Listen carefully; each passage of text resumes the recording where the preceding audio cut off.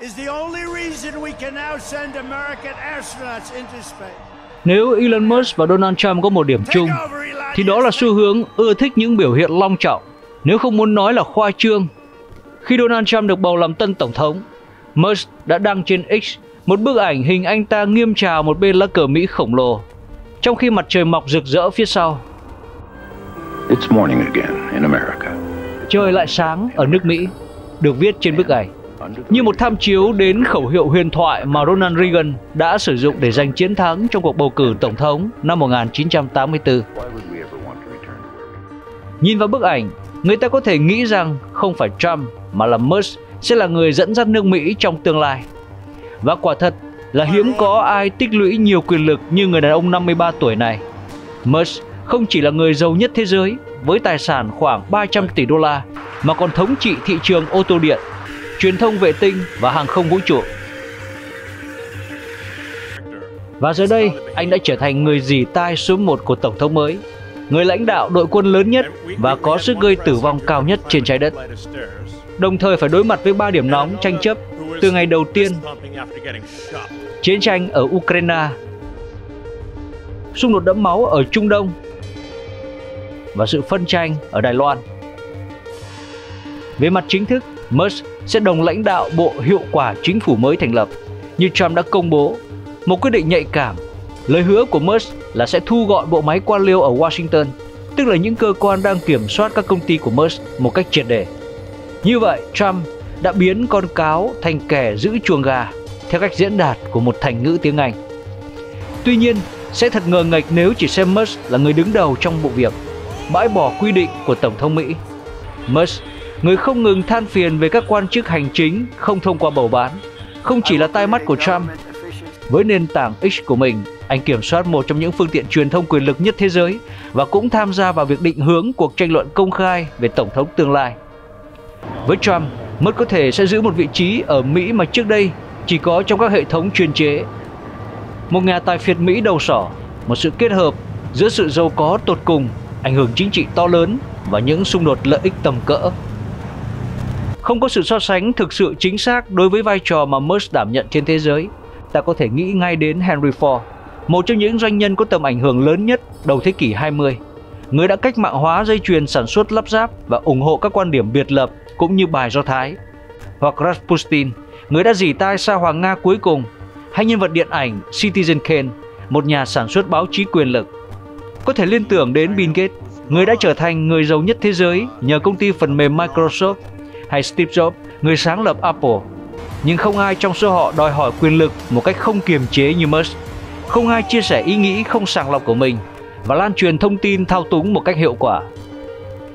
Khi tin bùng nổ ra về việc đài truyền hình tự do CNN của Hoa Kỳ đang bị thất thoát hàng loạt người xem, Musk đã đắc chí chia sẻ mẫu bình luận tới các người theo dõi trên X. Bây giờ, chính các bạn là phương tiện truyền thông. Đó là cách mà doanh nhân này nhận định vai trò của mình tạo dấu ấn trên nền chính trị của Hoa Kỳ và dự phần quyết định cách thức đưa tin định hình chính trị. Với một quốc gia được coi là một trong những nước đầu tiên đã ghi rõ sự phân bổ quyền lực hiện đại trong hiến pháp, đây là một sự tích lũy quyền lực và tiền bạc đáng sợ. Một kết hợp có tiềm năng gây tổn hại đến nền dân chủ gần 250 năm của Hoa Kỳ.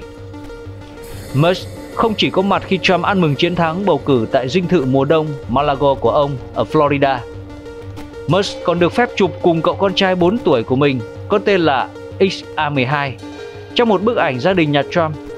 Có vẻ như Trump 78 tuổi đã nhận Musk, người trẻ hơn mình 20 tuổi và con trai của anh ta làm con nuôi. Kể từ khi Trump đắc cử, hầu như không có quyết định quan trọng nào mà không có mặt Musk. Tờ New York Times đã viết về sự hiện diện thường xuyên của Musk tại Malaga. Anh ấy ở trên sân thượng, anh ấy ở trên sân gôn, Donald Trump nhìn đâu cũng thấy người đàn ông giàu nhất thế giới. Musk cũng có mặt khi Tổng thống Ukraine Volodymyr Zelensky gọi điện cho Trump. Anh được nghe cùng khi Tổng thống Thổ Nhĩ Kỳ Recep Tayyip Erdogan gọi điện để chúc mừng. Và Musk đã tháp tùng Tổng thống tương lai trong chuyến thăm đến tòa nhà quốc hội ở Washington và tỏ ra rất hoan hỉ khi các nghị sĩ Cộng hòa đứng dậy vinh danh mình. Điều này đặc biệt đáng chú ý vì trước đó vài tháng, Musk và Trump không hề thân thiết và giờ đây có vẻ như họ không thể rời xa nhau. Trump đã tham gia nhiều liên minh chính trị. Ông, một cựu tay chơi nổi tiếng, và người lướt sóng trong lĩnh vực bất động sản đã chọn Mike Pence, một tín đồ sâu sắc làm phó tổng thống của mình nhằm lôi kéo các tín đồ tin lành ở Mỹ về phía mình. Ông cũng ve vãn tỷ phú Internet Peter Thiel và để ông này phát biểu tại Đại hội Đảng Cộng Hòa năm 2016. Liên minh giữa Musk và Trump, hai người đàn ông với niềm khát khao sâu thẳm là được công nhận bản thân, do đó có vẻ bấp bênh. Nó dựa trên cơ sở hai bên đều có lợi và chứa đầy mâu thuẫn. Musk, người đã cho thay đổi thuật toán trên X để ưu tiên các bài đăng của chính mình. Hiện có hơn 200 triệu người theo dõi. Trong chiến dịch tranh cử, anh ta đã đánh phủ đầu Đảng Dân Chủ bằng những lời nhạo báng và lan truyền những lời dối trá của Trump. Anh ta đã rót 118 triệu đô la từ tài sản cá nhân và một nhóm vận động chính trị mang tên American Park. Nhóm này đã hỗ trợ Trump tái đắc cử. Anh đã đi tham quan Pennsylvania cùng Trump và khuyến cáo người hâm mộ tin rằng chiến thắng của Kamala Harris sẽ là dấu chấm hết cho nền dân chủ Mỹ. Người hâm mộ ca ngợi danh nhân này một cách phấn chấn gần như ca tụng Trump. Tuy nhiên, trên nhiều phương diện, Musk là một đối cực của Trump. Musk là doanh nhân thiên tài mà Trump luôn mơ ước trở thành. Một người đàn ông đã cách mạng hóa ngành công nghiệp ô tô từ con số 0 và sau đó với công ty SpaceX của mình phát triển một loại tên lửa không chỉ bay vào vũ trụ mà còn có thể quay trở lại. Musk mơ ước đưa con người lên sao hỏa. Trong khi đó, chân trời kinh doanh của Trump chưa bao giờ vượt xa Atlantic City, nơi ông từng xây dựng các sòng bạc và gánh chịu sự phá sản ngoạn mục vào những năm 1990. Với bản chất, Trump luôn là một nhà đầu tư bất động sản danh ma. Chỉ khác ở chỗ, ngày nay ông ta lừa bịp cử tri vì người thuê nhà và nhà thầu xây dựng. Trong phần lớn đời mình, Musk là người theo chủ nghĩa tự do, một người đặt quyền tự do cá nhân lên trên tất cả. Theo như anh ta kể, lý do bước chân vào ngành xe điện không giống Trump là vì anh ta lo ngại sự biến đổi khí hậu. Dù vậy, từ ban đầu, Musk đã thể hiện một mặt tối, nhưng anh ta luôn mang trong mình những ý tưởng lớn hơn bản thân Giấc mơ mang đến cho nhân loại một xứ sở mới trong vũ trụ hoặc giải phóng tinh thần con người khỏi thể xác hữu hạn. Đổi lại, chương trình của Trump luôn đơn giản là Trump. Người ta có thể xem Musk như một doanh nhân đang tâm sử dụng chính trị gia làm công cụ. Nhưng câu chuyện của Musk cũng là câu chuyện về sự lạc điệu của Đảng Dân Chủ. Vào năm 2020, Musk còn bỏ phiếu cho họ như trước đây anh đã làm. Anh từng không mấy thiện cảm với Trump. Và mùa hè năm 2022, Musk tuyên bố rằng nhân vật Đảng Cộng Hòa đã quá già cho nhiệm kỳ thứ hai và nên rời chính trường một cách yên bình. Trump đáp lại bằng cách gọi ông chủ Tesla là một kẻ ngốc.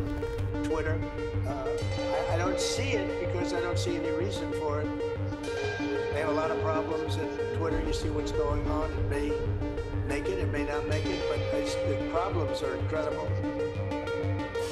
But I do like him. I've, I've always really, you know, he's a, he's a character. And uh, I tend to like characters, but he's smart. Uh, he did put up a poll, and I hear it's very overwhelming, very strong. But I have something called Trump. If you look, it's Trump owned, but it's uh, it's really fantastic truth.